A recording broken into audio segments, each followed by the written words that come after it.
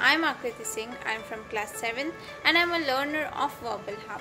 There, my experience was excellent. The teachers who teaches us are very polite, humble and friendly to us. They are available for us all the time. I would like to tell learners to join the institute and grab the opportunity to get an excellent learning. I used to take online classes from them. The teacher who used to teach us in that was too nice. She was well qualified and she never scolded us for anything.